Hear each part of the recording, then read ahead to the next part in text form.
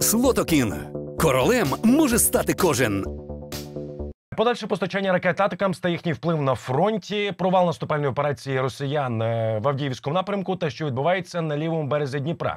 У нас на календарі 21 жовтня, субота. І як ви бачите, у нас вже є на зв'язку Євген Дикий, ветеран російсько-української війни, військовий експерт. Кажу вам доброго дня і кажу вам слава Україні, пане Євген.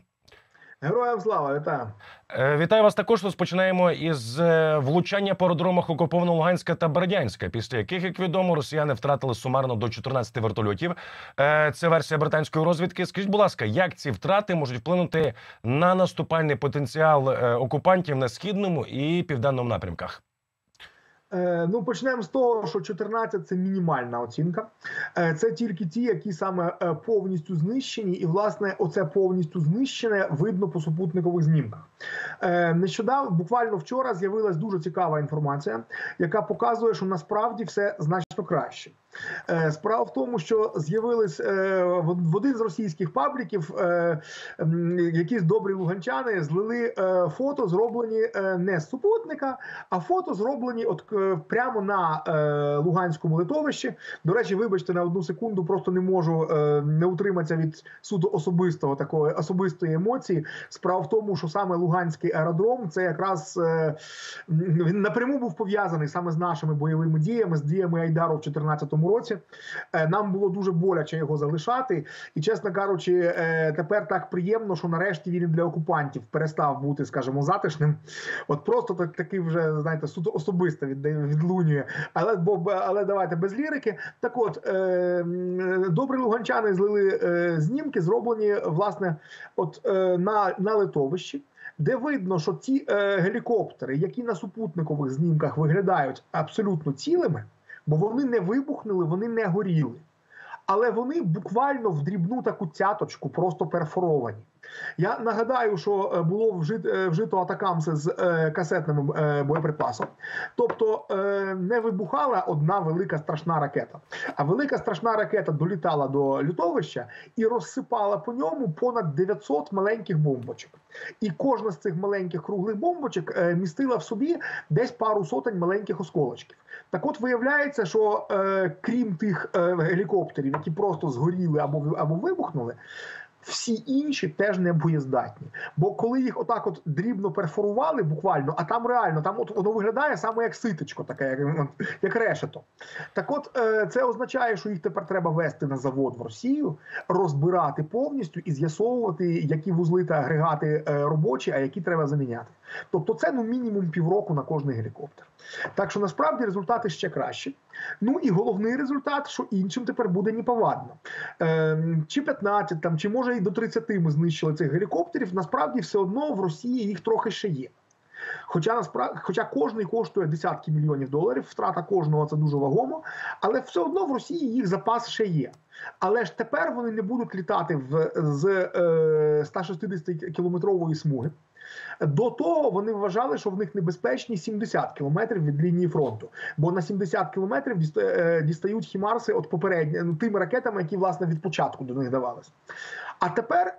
Одразу подвоюється, навіть більш ніж подвоюється ця небезпечна смуга, і тепер в неї потрапляють саме ключові аеродроми: Луганськ, Бердянськ, Мелітополь і Джанкой. От всі ці чотири аеродроми тепер потрапляють в зону враження. За зоною враження лишаються тільки аеродроми вже от від Симферополя і далі на південь. От, на жаль, туди е, оця версія атакамців не долітає. Тобто Севастополь, Симферополь, Керч, е, Феодосія лишаються. Але е, якщо для авіації, тобто для літаків, це нормально. То для гелікоптерів то вже задалеко. Гелікоптер зжирає просто неміряно пального, і тому він не може літати на фронт здалеку. Бо поки він долетить, йому треба буде вже негайно вертатися не встигне виконати місію. І це дійсно дуже важливо. Це обмежує якраз не так наступальний потенціал ворога. За винятком проваленої гостомельської операції, вони в наступальних діях гелікоптери не так вже й сильно використовували. А от в їхніх оборонних діях роль гелікоптерів була величезна. Справа в тому, що оці гелікоптери, радянські, тепер російські, вони базово конструювались, заточувались саме як вбивці танків, тобто як мисливці на бронетехніку. І тому саме наявність оцих гелікоптерів з керованими протитанковими ракетами була другою позначеною проблемою для нашого наступу от після мінних полів. От на першому місці, все ж таки, звісно, сотні кілометрів мінного поля. Але е, друга по значенню проблема це були саме оці от геліки. От і тепер одну з двох проблем просто прибрали повністю е, одним залпом атакамсів. Ну приємно це чути. А от російська пропаганда е, продовжує верещати, що, начебто, їхня протиповітряна оборона здатна впоратися з атакамсами. Навіть е, Соловйов розповідав, ну він не військовий експерт, просто е, Галташай і пропагандист, але сказав, що навчаться росіяни розбиратися з атакамсами. І схожу тезу повторив Владимир Путін, перебуваючи з візитом в Пекіні. От яким чином атакамси можуть змінити ситуацію на фронті? Ну, з приводу того, що вони можуть їх збивати, власне, можу сказати їм тільки одне: ну покажіть, як ви хоч один зіб'єте, тоді поговоримо. Е, нагадаю, нагадаю, що якщо ми говоримо, що система Петріот здатна збивати кінжали. То вибачте мене, ми можемо показати е, купу збитих кінжалів, і більш того, жодний із кінжалів не прилетів там, де прикрито Петріотами. Да, на жаль, проблема в тому, що Петріотів мало, але там, де вони вже є, жодний ще раз підкреслюю кінжал не долетів. І це доказова абсолютно річ. Е, Ми показали всім е, і фотографії цих збитих кінжалів, а експертам західним передали власне для вивчення і фрагменти. Тобто, тут ну от коли вони зіб'ють хоча б один атакамс, тоді поговоримо. От поки що вони чудово собі долетіли. От е, як вони міняють ситуацію на фронті? Ну от в першу чергу, поки що прибрали вже е, їхні гелікоптери з фронту. Це, це, це вже дуже великий плюс. Е, Наскільки ще вони далі буде, е, буде робота по їхній логістиці, по їхніх складах? Ну тут є нюанси, звичайно, питання кількості. От, на жаль, е, New York Times спалила оцю дуже неприємну інформацію, що поки що передано всього 20 штук. Відповідно, десь половина вже використана. Е, ну я дуже поважаю вільну пресу. Ми, ми зокрема воюємо і за вільну пресу, але чесно кажучи, це мало би передбачати хоч якусь совість, хоч якусь відповідальність. Ну на жаль, не передбачає. На біса було вивалювати в публічний простір цю. Ну хай лишиться на совісті цих журналістів, чи що вони там замість совісті. От але е, є сподівання, що все ж таки це був пробничок. Є сподівання, що все ж таки далі додадуть ще. Е, дуже багато не буде ніколи. Справа в тому, що взагалі ситуація з атакамсами вона не така, як, наприклад, зі снарядами. Справа в тому, що атакамсів всього було е, на складах Пентагону біля, біля тисячі, там тисяча плюс. Е, вони вже не випускаються, вони зняті з виробництва. Замість них робиться нова ракета набагато крутіша, але вона в масті має з'явитися десь через три роки. Наразі йде тільки стадія випробування прототипів. Тому це в три роки, от він не закритий. А звісно, що американці хочуть і собі лишити достатньо серйозну якусь кількість атакамсів на випадок, наприклад, війни за Тайвань. От е, тому тут набагато розраховувати не доводиться. Але є все ж таки сподівання, що буде не 20 штук, а може там ну, хоча б соточка поступово доїде. От і. Е, Особливо саме атакамси з касетною боєголовкою. Е, Вони не для всіх задач, е, скажімо, е, годяться. Але, от, наприклад, для роботи по аеропортах це навпаки ідеальна зброя, як показали оце її застосування. От оті атакамси, що з некасетною боєголовкою, і які летять на 300 кілометрів, ну боюсь, що їх ми взагалі не дочекаємося, і вже не через політичні причини, а саме тому, що їх просто для самих американців мало. Але касетні може все ж таки нам і всі поступово віддадуть. І, ну і звичайно, це давайте так. Це не якась там е, срібна куля для вампіра, яка одна переломить весь хід війни. Такої зброї взагалі не існує. Це треба чітко розуміти. Що жодна зброя одна сама по собі не переламує хід війни. Але кожна додаткова можливість, от в даному разі, наприклад, розширення зони враження з 70 км до 160. Кожна така нова можливість вона суттєво впливає на боєздатність нашого ворога і відповідно послаблює його. Ну, переконаний, що це точно не може бути панацеєю, як ви розповідаєте, жодна е, зброя, яка знаходиться на фронті, і в принципі, яка є на балансі в будь-якої з країн світу. А от е, щодо атакамсів, е, секретар НБО напередодні Олексій Данілов заявив, що Україна отримуватиме ці ракети, е, доки не звільнить всі свої території. Тобто можна сподіватися на додаткове постачання. Заява заявою, але все ж будемо Так, сподіватися. так, так. Чесно, зая- заяви Данілова чим далі, тим менш цікаво навіть коментувати. Ну людина, Ну. людина вирішила з нашого боку позмагатися із Соловйовим. Ну вперед. Якщо в нас секретарю РНБО більше нічим займатися, ну окей.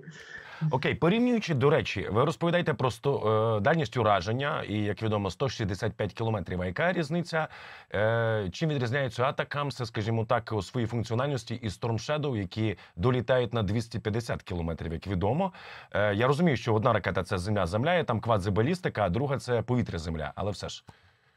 Е, Ну, по-перше, так, е, два плюса атакамсів. Хоча, бачите, ви вірно відзначили, що відстань менша. Storm Shadow навіть 280, якщо зо- зовсім бути точним.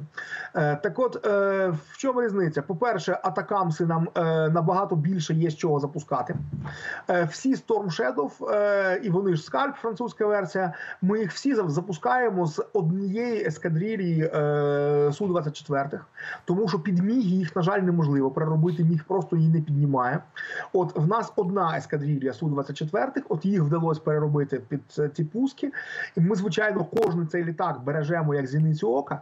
Е, Не будемо навіть уточнювати, скільки саме в цій ескадрилі. Ну але ви самі розумієте, що ескадрилья ну базово це 12 літаків. Скільки з них зараз ще в строю, не будемо уточнювати. А головне, що нові дістати нема де. За межами руского міра в світі вільних Су-24 просто не лишилось. От їх дуже мало країн використовують зараз. І це дуже лімітує використання власне Storm Shadow. Е, а до речі, наприклад, щоб використати Storm Shadow е, по Криму, по Севастополю, нам спершу довелося провести ціл, цілий каскад, я б сказав, продуманих послідовних операцій по демонтажу протиповітряної оборони півострова. І тільки тоді ми змогли підлітати настільки близько, щоб далі вже бити Storm Shadow. Е, а от а, а атакамси вони запускаються з хімарсів. Хімарсів у нас 18 штук, і ще 20 законтрактовано на заводі. Доїжджають поступово. Якщо що, ще докинуть, тобто ну з хімарсами проблеми нема. Ну і друге, звичайно, е, а далі вже є плюси і мінуси в крилатих і в балістики. От Storm Shadow – це крилата ракета. Е, Плюс в тому, що вона може летіти, е, власне, вона може летіти по такому, ну, грубо кажучи, петляючи. Вона не має летіти по прямій. Вона може обходити саме ворожу оборону. Це її плюс. Мінус той, що крилата ракета летить з меншою швидкістю. От Атакамс це класична балістика, тобто воно летить е, по чітко визначеній траєкторії. В принципі, нормальна ППО могла б цю траєкторію розрахувати і щось з цим зробити. Ну але на щастя, Орківська ППО просто з цим не справляється, бо вона летить достатньо швидко. Е, Зрозуміло, от цікаве інше. Цікаве, що вперше чи не вперше Вашингтон постфактом підтвердив постачання нового виду озброєння вже після того, як ракети, як відомо, атакамси влучили по е, Луганському та Бердянському литовищах. Е, Якщо це нова тактика, скажімо так, сюрпризів від Пентагону, вона на щось впливає чи ні?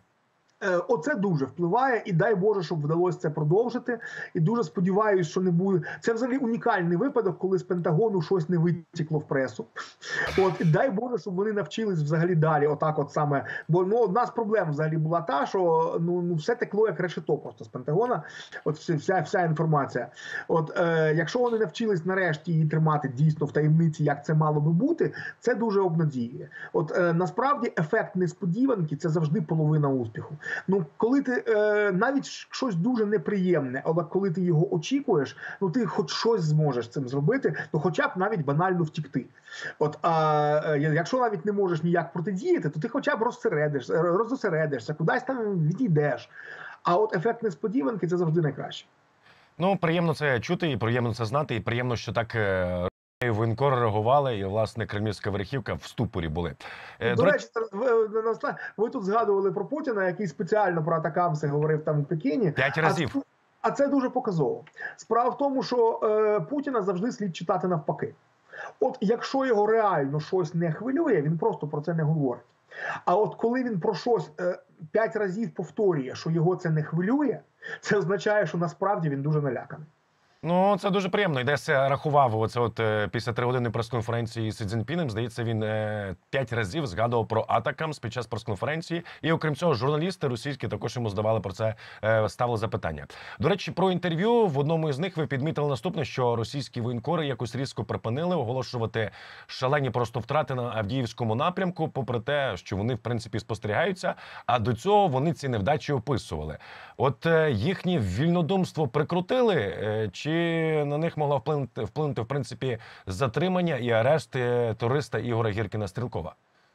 Так, власне, а, а чому ви кажете або? Це от Я в такий спосіб їх і прикрутили. А окей. От це, Росія. ФСБ ФСБ весь час помиляється своїми прогнозами в Україні, бо вони накладають на нас, українців, кальку мислення росіян. Вони щиро вірять, що один народ і що ми маємо мислити як росіяни. Ну а ми чогось не маємо. Так, от, а власне, свій народ вони добре знають. Е, Росіяни для них чудово прогнозовані. Ними вони чудово знають, як маніпулювати. І, зокрема, вони дуже добре знали, що достатньо посадити одного, але найбільш голосного, і всі решта присядуть, попід плінтус заб'ються. Саме так це і спрацювало. От всі ці там, всі ці там е, мурзики та вся ця інша наволоч. От коли вони побачили, що навіть самого Гіркіна можна просто взяти і брутально закрити в Лефортова, все, миттєво тональність помінялась. І щодо Авдіївського напрямку, от сьогодні вийшло зведення інституту вивчення війни. і Вони аналітики дійшли висновку, що от, е, йде нова хвиля наступу росіян, і свідчить на про те, що або самі росіяни, і окупантська влада вірить в реальність захоплення міста, або їхньому командуванню начхати на втрати у живій силі. Е, якщо подивитися на зведення генштабу, останні кілька днів це просто вражаючі втрати, і вже помітно по вони продовжують рухатися колонами, якщо говорити про бронетехніку. Ні, не продовжують. давай, не продовжують. Ми з вами говоримо 21 числа. Тому давайте перестанемо пережовувати 10 число. Так. От 10, 10 жовтня дійсно е, була спроба. Я навіть не назву це спробою штурма, бо до штурму вони навіть не доїхали. От 10 числа було дійсно епічне хождення в бік Авдіївки. От при тому я, я просто вражений, як так можна після вугледару. От вони е, не пам'ятаю зараз точно, чи три або чотири рази вони от точно так ходили в бік вугледару. Знову ж таки, це штурмом назвати не, не можна, бо вони кожного разу до штурму не доїжджали. От вони ходили розтягнутими вузькими бронеколоннами е, по дорогах між мінних полів. Ну, результат був кожного разу абсолютно очевидний, абсолютно ніщівний. І от тепер вони взяли ті самі граблі, принесли їх під Авдіївку, поклали і наступили. От чесно, оця- оця попи- моя попитка номер 5, вона мене, якщо чесно, просто вразила. Ну як так можна? Але на жаль, така спроба була все ж таки одна. Вона їм дуже дорого коштувала. За 10 число вони втратили три батальйони. От е, понад 60 одиниць бронетехніки, тільки підтвердженої зовнішніми спостерігачами. Значить, в реальності е, завжди дещо на знімки завжди не попадає, тобто в реальності більше.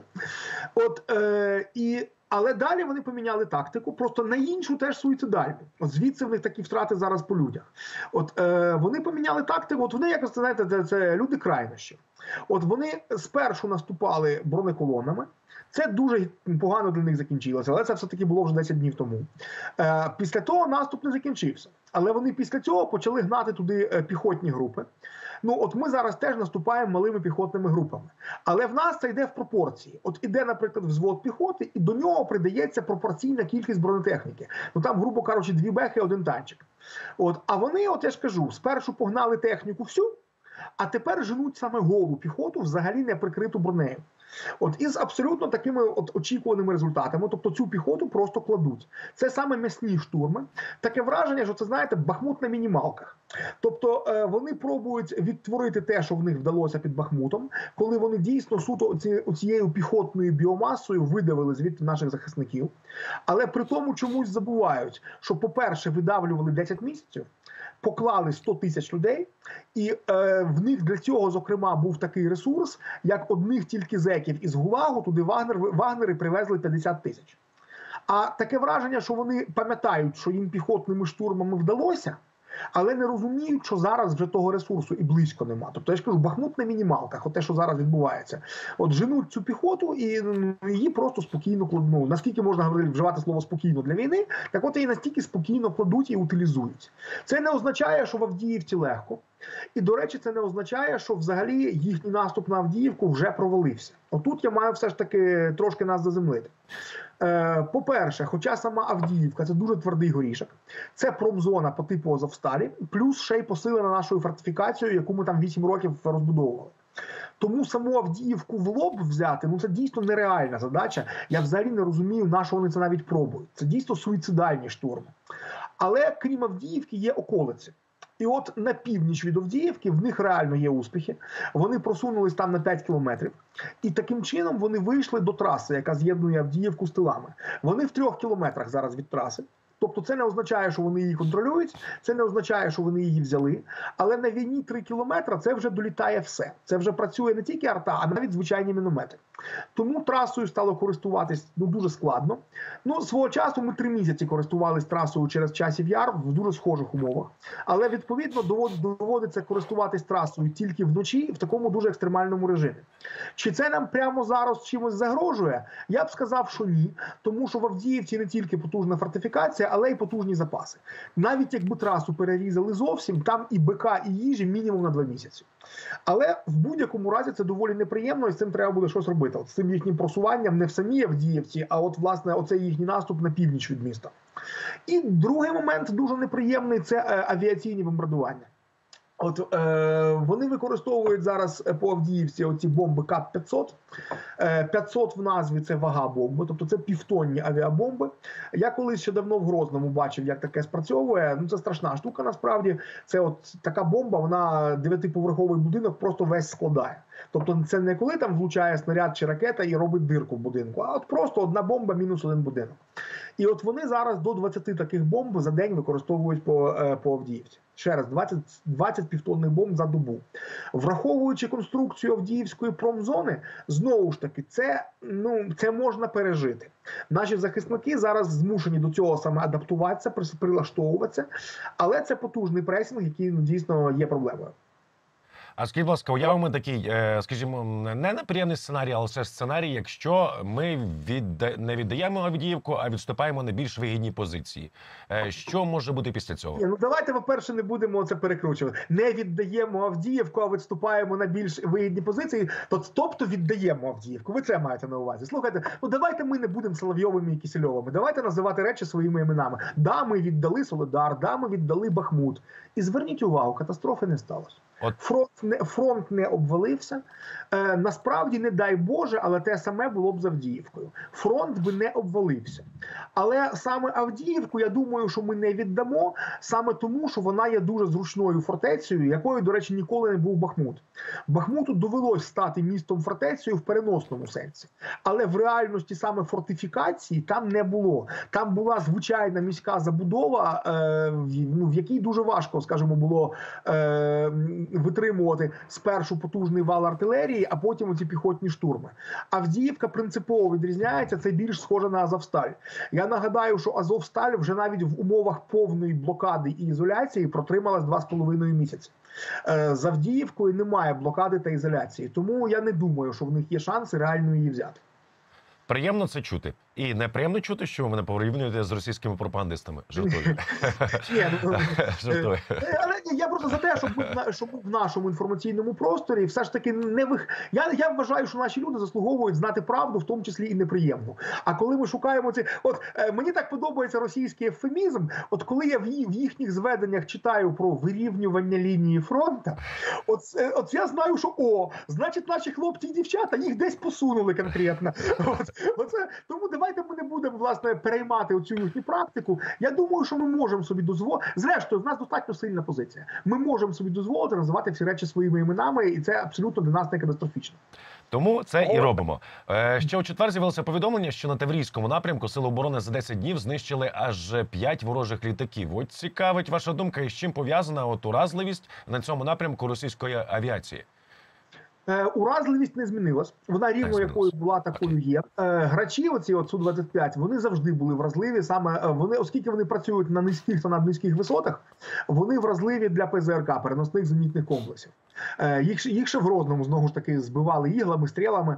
Але чому власне збільшилась кількість? Це означає, що їхнє командування російське почало таки гнати, прилітати ближче до лінії фронту. Вони ж як, от як вони, наприклад, пресують Авдіївку, чому ми з цим нічого не можемо зробити? Бо вони скидають оці плануючі бомби КАП-500, вони їх скидають за 20 кілометрів від лінії фронту, не заходячи в зону дії не те, що переносних зенітних комплексів, а навіть ну, в- навіть тактичних ЗРК. От е, вони нічого, е, тобто вони за 20 кілометрів від фронту відбомблюються і тікають. А бомбочка вже сама перелітає через лінію. А, е, але але ціною цього є точність. В них там влучання ну плюс-мінус пів кілометра. От е, судячи з усього, їхнє командування почало вимагати, щоб вони почали дійсно точно лупити саме по наших наступаючих частинах. А от для цього треба підлетіти значно ближче. Тобто їх погнали ближче до нас, і от ми бачимо результати оцього full contact'у.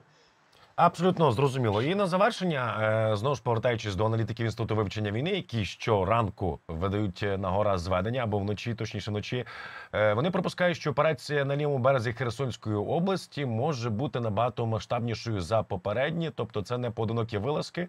І про це також дублюють цю інформацію російські телеграм-канали, російські воєнкори. Е, що змінилося на цьому напрямку, пан- пане Євген, і що можна розповісти, щоб не нашкодити нашим хлопцям та дівчатам? Так, так, тут ну дійсно з одного боку будемо обережними. До речі, в мене прямо зараз там воюють друзі, і от е, ті- тільки завчора двоє трьохсотих. На ще не саме з тих, кого я персонально знаю. Ну слава Богу, обоє вже живі, обоє на правому березі. От е, але е, я до того, що е, там дійсно відбувається. Ну от взагалі так, ця війна взагалі вона така унікально прозора. От е, ніколи ще в історії обидві сторони не були настільки прозорі одна для одної під час війни. Така, знаєте, от, от туман війни, про який писав Клаузевіць, він практично розвіявся. Тому нам з вами зараз е, можна багато що сказати, просто тому, що на жаль, багато що вже і так в медіапростір вивалено. Ми не додамо суттєво нового. Отже, це дійсно набагато потужніша е, операція ніж все, що робилось до того. Е, ну тут, мабуть, варто трошки відступити е, в недавню історію. Я думаю, ні для кого не секрет, що в нас взагалі влітку планом А була саме висадка е, на лівий берег Дніпра, створення там великого плацдарму і захід звідти механізованими частинами е, в тил лінії Суровікіна, щоб не, не довелось ламати її, отак, от вигризати її по метру, як ми це робимо з червня місяця. Е, на жаль, е, росіяни знайшли, як зламати цей план А. Е, вони оцінили свої сили, зрозуміли, що зупинити не зможуть, і тоді вони зробили оцю найбільшу екологічну катастрофу після Чорнобиля, підірвали Каховську греблю. Ем, Це страшний злочин, але з військової точки зору він дав їм результат. От після того, як власне вони спустили е, Каховське водосховище, ну на кілька місяців стало неможливим говорити про будь-що на лівому березі, крім роботи диверсійно-розвідувальних груп. Е, Наші спецпризначенці там себе почували абсолютно як вдома. От е, там 15-20 кілометрів вздовж Дніпра це фактично сіра зона, яка в партизанському режимі, але по факту контролюється швидше нами, чим ними. От, е, але в партизанському замерейдовому режимі. От, а тим часом довелось переключатися на план Б і е, ломитися крізь лінію Суровікіна. Але весь цей час, скажімо, ми придивлялись, коли ж нарешті ґрунти просохнуть, коли складеться обстановка, щоб можна було повернутися до плану А. Тобто таки е, перейти від рейдових дій на лівому березі до великого плацдарма і заведення механізованих частин. І е, от наразі йде прощупування, чи це вдасться, чи це ні. Е, тому що так, це вже дійсно вою. От, от вперше за цей час там вже воює не тільки спецназ. От туди пішла морська піхота, поки пішла на легку, без техніки. От, але це така потужна розвідка боєм. І от по результатах оцієї розвідки боєм, яку зараз роблять наші морпіхи, швидше за все буде ухвалено якесь рішення: або робити нашу висадку в Нормандії, або все ж таки визнати остаточно, що це нереально, і тільки продовжувати наступ на Запорізькому фронті. А от ну ми це з вами зрозуміємо, я думаю, десь там за тиждень. Безмежно вдячний вам, е, пане Євгене, що все- розклали по поличках, пояснили це, що відбувається на фронті на полі бою. Е, Це був е, Євген Дикий, ветеран російсько-українського. Був Юра Гаврищак, і побачимося в ефірі 24 каналу.